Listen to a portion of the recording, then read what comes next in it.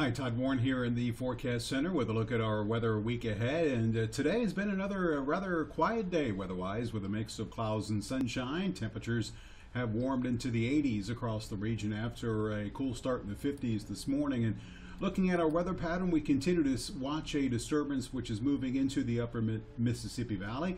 You can see the clouds associated with a cold front uh, that's associated with this system.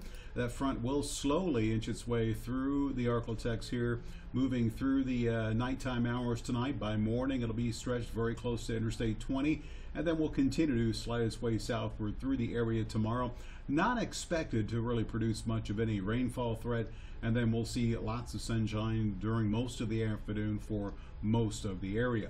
Now, looking at Futurecast here from Robbins Toyota, you can see that uh, tonight as the frontal system moves in, we'll see a partly cloudy sky. Notice can't totally rule out a sprinkle. The chance is 10% or less at any one particular location. And see, tomorrow we will begin with some clouds. We'll likely end with some sunshine. Expect a clear sky tomorrow night with a few clouds late.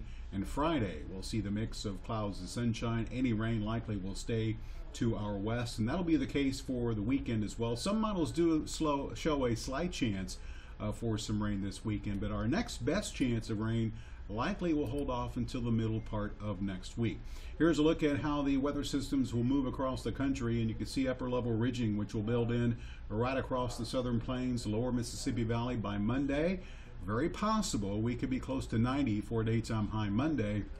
And then you can see this big trough moving into the west coast by Monday. This is rapidly going to move to the east, likely pull up some moisture from the Gulf of Mexico and produce a chance for some showers and thunderstorms Tuesday night and Wednesday. That system will roll through and then we will see some cooler air move in behind it to close out next week. Now models kind of split on exactly how much rain we might see. Uh, this particular model, one of the wettest, shows amounts of uh, one to two inches across most of the area. Other models in that half an inch to an inch range uh, as far as uh, what we might expect rainfall wise. And severe weather will be a possibility. Can't totally rule it out. Bit early to project on the extent of any severe weather threat that we may have. So here's your forecast for tonight. We're looking at a partly cloudy sky as that front eases into the area.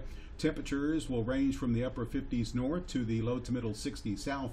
That includes 64 in Shreveport, 62 in Texarkana. Tomorrow, I expect a partly cloudy sky. Another warm day despite that cold front moving through, as highs will range from the low 80s north to the upper 80s south. Looking at 88 for the high tomorrow in Natchitoches, 87 in Shreveport, and 83 degrees for the high temperature in Texarkana. Normal for this time of year in the upper 70s. So temperatures a good uh, 5 to 10 degrees above normal for this time of year. And the above normal temperatures will continue into next week. You can see a slight cool down behind the front Friday with a partly cloudy sky. We'll then see those temperatures warm back up close to 90 by Monday. Uh, the cold front will bring the shop for some thunderstorms Wednesday that could linger into Thursday morning.